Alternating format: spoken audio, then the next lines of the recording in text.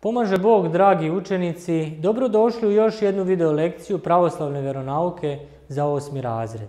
Pre početka današnjega časa pomolit ćemo se Bogu. U ime Oca i Sina i Svetoga Duha. Amin.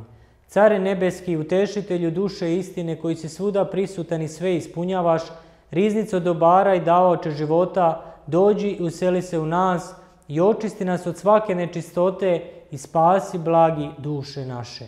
Amin. Naša današnja tema jeste nastavak one prošle teme kada smo govorili o crkvi kao telu Hristovome. Pa ajde da se podsjetimo šta smo mi to rekli, šta smo to radili i naučili na prošlome času. Govorili smo o tome da je crkva telo Hristovo. Naučili smo da od samoga početka hrišćani postoje kao crkva. Crkva je skup vernih okupljenih na Božji poziv. Kada kažemo da je neko hrišćanin, to znači da pripada crkvi. Novozavetna, odnosno hrišćanska crkva, pojavljuje se u istoriji ovaploćenjem Sina Božjega, Isusa Hrista i njegovih sledbenika i to kao nastavak one starozavetne crkve. Krštenjem postajemo hrišćani. Tako stičemo povlasticu da učestvujemo u događaju crkve, to jeste da i mi sami izgrađujemo crkvu. U toku krštenja ispovedamo svoju veru govoreći simbol vere, gde između ostaloga kažemo i da verujemo u jednu svetu, sabornu i apostolsku crkvu. Isto to mi ispovedamo i na svakoj liturgiji. To između ostaloga znači da verujemo u crkvu kao događaj gde se mi okupljeni sjedinjujemo u vaskrslom Hristovom telu. Naše zajedništvo potvrđuje se svetim pričešćem. Evharistija se služi da bi se hrišćani pričestili, odnosno da bi uzimanjem tela i krvi Hristove kao hleba i vina ostvarili realnu zajednicu sa Hristom. Tako se ostvaruje tajna crkve i hrišćani svoju veru su oduvek na taj način izražavali i potvrđivali je kroz iskustvo zajednice sa Bogom, ali i sa drugim ljudima. Pripadnost crkvi znači pripadnost evharistijskom sabranju. Time mi izražavamo svest da se naše spasenje ostvaruje kroz utelovljenje u telo Vaskrasloga Hrista, obećanoga Mesije. Hristos je prisutan ovde i sada kroz crkvu na svakoj evharistiji, sve dok ponovo ne dođe i ne uspostavi svoje carstvo. U okviru te zajednice razvija se njena liturgijska struktura ili drugim rečima službe crkve o kojima ćemo nešto više i reći u današnjoj videolekciji. Buduće carstvo Božje koje čekamo ima svoju strukturu i poredak u kome celokupna tvorevina prevazilazi smrt. Ta struktura izgleda ovako. Hristos u zajednici sa apostolima i narodom Božijim, sabranim na jednom mestu, a sa njima i čitava tvorevina, odnosno priroda. Na ovu strukturu carstva ukazuje nam sveto pismo. Ovo iskustvo budućeg carstva Božijega među hrišćanima pokazuje se pre svega kroz liturgiju, njenu strukturu i poredak, kroz sabranje svih vernih na jednom mestu oko jednog episkopa okruženog sveštenstvom i narodom. Hrišćani su uvek izražavali svoju pripadnost crkvi, odnosno pripadnost budućem carstvu Božijem, na taj način što su se u nedelju svi sabirali na jednom mestu oko jednoga prvog među njima radi prinošenja beskrvne žrtve Bogu u vidu hleba i vina, kao blagodarnosti Bogu, te radi priziva Duha Svetoga na sve članove i na darove prirode zbog njihovoga večnog života. U tom sabranju su oni zapravo predokušali buduće carstvo Božije, koji će se u potpunosti potvrditi tek u budućnosti. Niko ne može da postane član crkve, a da ne bude potvrđen od strane iste zajednice kroz krštenje, kao što niko od članova crkve ne može da bude postavljen na mesto predvodnika zajednice bez potvrde te iste zajednice kroz rukopoloženje.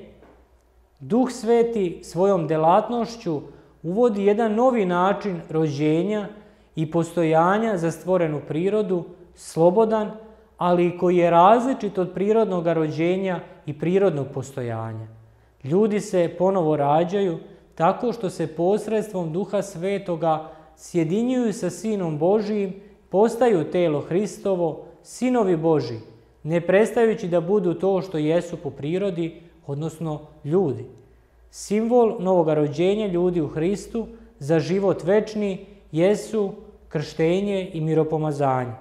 Krštenjem i miropomazanjem, međutim, Duh Sveti konstituiše liturgijsku zajednicu.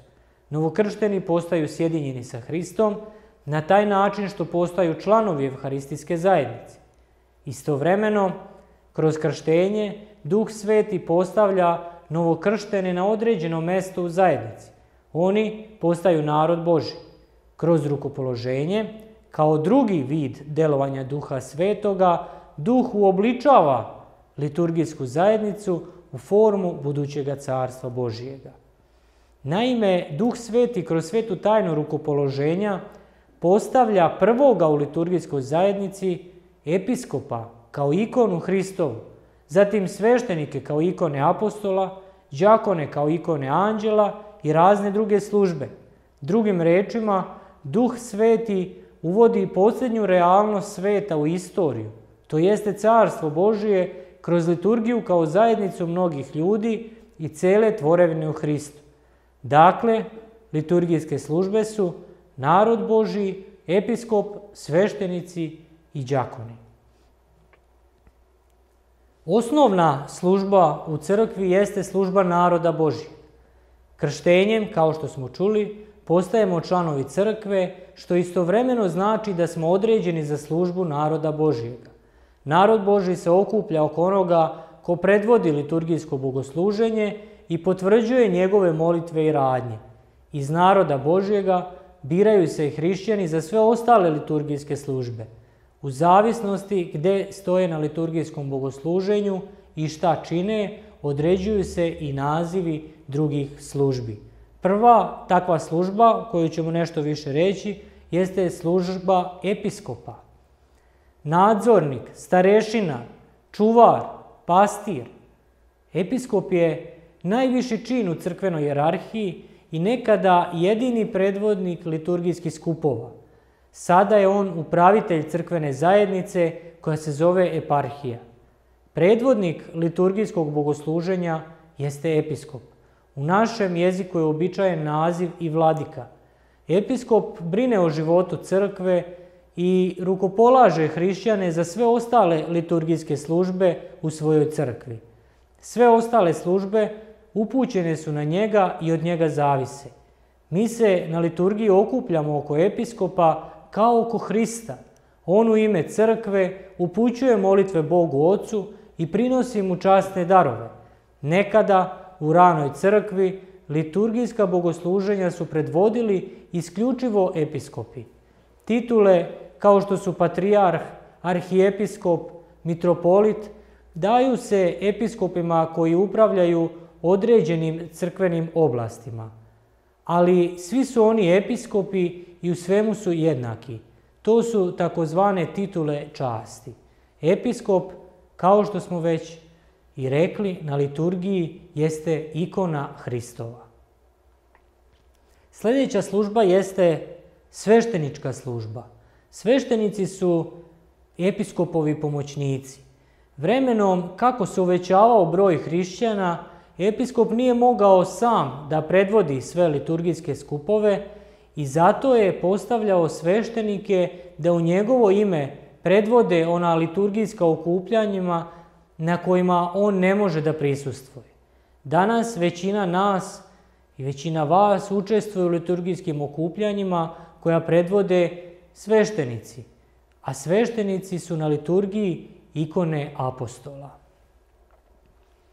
Sljedeća služba jeste đakonska služba. Đakoni pomažu episkopu i sveštenicima u služenju liturgije, ali i daju uputstva narodu Božijem oko molitvi. Također se brinu i o potrebama crkve van bogosluženja. Delatnost svakoga člana zajednice kao što smo i vidjeli iz priloženoga, usmjerena je ka događanju crkve i svaki član svoju službu potvrđuje tom istom zajednicom. Svi hrišćani prinose sebe Bogu Ocu kao crkva. Otuda i međusobna povezano svih liturgijskih službi. Jedna služba ne može da postoji bez druge.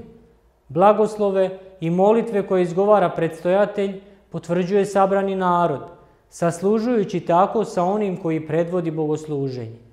Odgovori naroda nisu samo deo obredne forme, već predstavljaju njegovu sveštenu ulogu u liturgijskom sabranju i potvrđuju neophodnost njegovog prisustva, odnosno učešće za trpezom. Od podjednake važnosti je prisustvo predvodnika sabranja i prisustvo onih u čije ime predvodnik i prinosi blagodarnost. Zato apostol Pavle opisuje crkvu stavljanjem znaka jednakosti između nje i tela Hristovoga sljedećim rečima. Jer kao što je telo jedno i ima udove mnoge, i svi udovi jednoga tela, iako su mnogi, jedno su telo, tako i Hristos. Jer se jednim duhom svi mi krsti smo u jedno telo, bili judejci ili jelini, ili robovi ili slobodni, i svi smo jednim duhom napojeni. A vi ste telo Hristovo, judovi pona osob. I njega postavi iznad svega za glavu crkvi, koja je telo njegovo, punoća onoga koji sve ispunjava u svemu. Sa ovim rečima svetog apostola Pavla i završit ćemo današnju video lekciju, a za kraj zadao bih vam domaći zadatak, a to je da skenirate ovaj priloženi QR kod ili upišete ovaj link u internet pretraživač i tamo ćete pronaći zadatke vezane za ovu video lekciju koje ćete rešiti, a sa rezultatom se pohvalite svojim veroučiteljima. Za kraj časa pomolit ćemo se Bogu. U ime Oca i Sina i Svetoga Duha. Amen. Bogorodice, Djevo, raduj se blagodatna Marijo, Gospod je s tobom, blagoslovena si ti među ženama i blagosloven je plod utrobe tvoje, jer si rodila spasitelja duša naših. Amin. Do sljedećega časa živi i zdravi bili.